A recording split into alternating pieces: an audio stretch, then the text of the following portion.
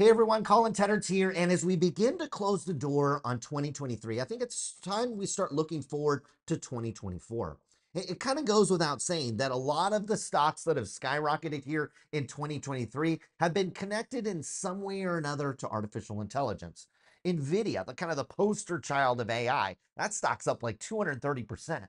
Microsoft and Google are up over 50%. AMD is up 100% this year alone. And, and look, the list goes on and on. And one question on many investors' mind, maybe yourself included, is will AI stocks continue to work next year in 2024? Or is AI some kind of bubble that's going to pop, like the internet bubble and uh, like the housing bubble?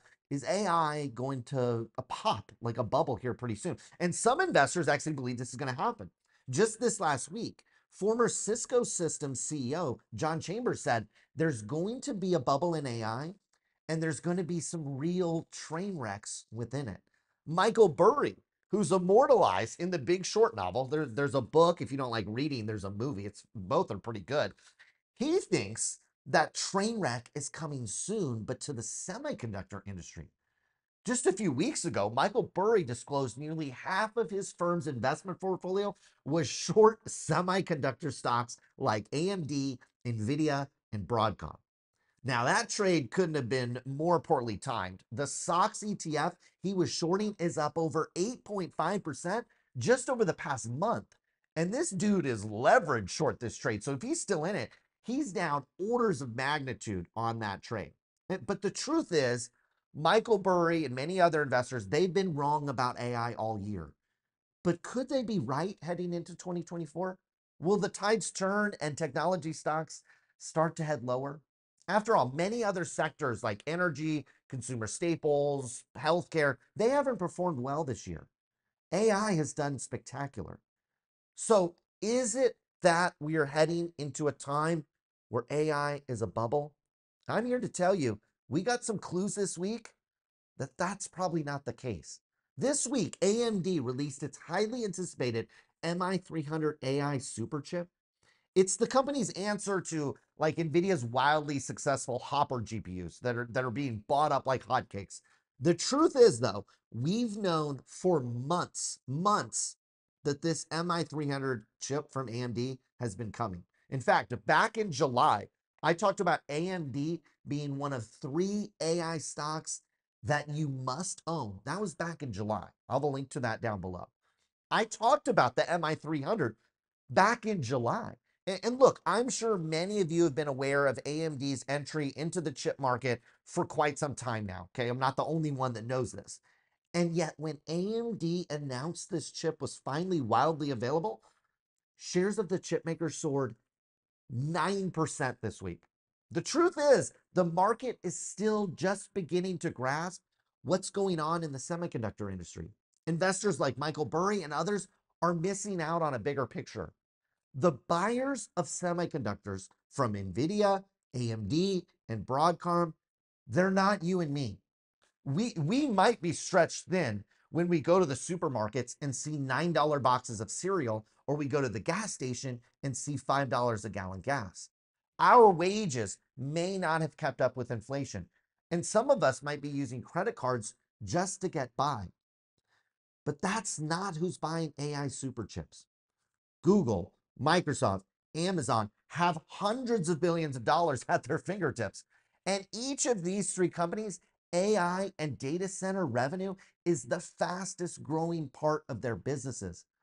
According to many experts in the industry, demand for AI super chips is expected to increase 50% per year for the next five years, largely because the customers of these chips have plenty of money to spend on them. And there's no indication right now that these mega technology companies are going to slow down spending on AI hardware anytime soon. In fact, it's just the opposite. Take Google, for example. We've known for months this company was working on something, okay? They have their Gemini AI model that is coming from DeepMind. Investors have been patiently waiting. Well, some investors, I haven't been patiently waiting for Google to deliver this product, but many of you have been patiently waiting for them to deliver this product. And they are ready to prove they're ready to compete with OpenAI's ChatGPT. This week, Google delivered, sort of. Okay. The company released a video showing off Gemini and claims that it was better than ChatGPT nearly across the board. So, what was the catch? The high end model Google touted isn't actually available yet. And a smaller model for the phone wasn't ready for public use either, although it's, it's going to be ready here soon. But investors didn't care. Shares of Google shot up over 5% on a single day. That's right. A video, a trailer about a product that wasn't widely available yet sent shares of one of the world's most valuable companies up 5% in a single day. So, what does this all mean?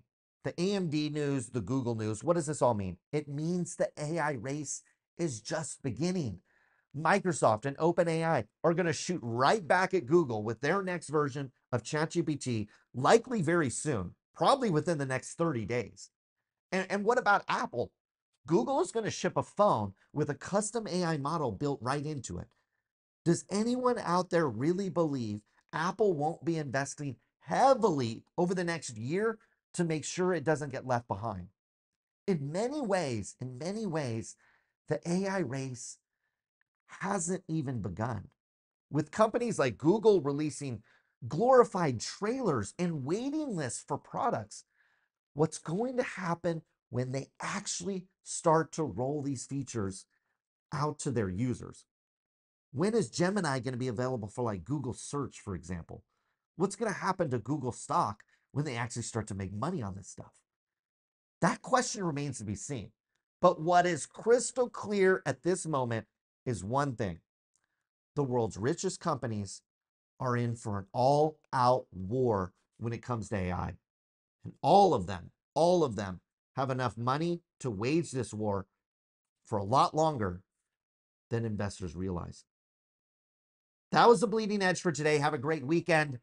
My name is Colin Tedards, and I'll see you again soon.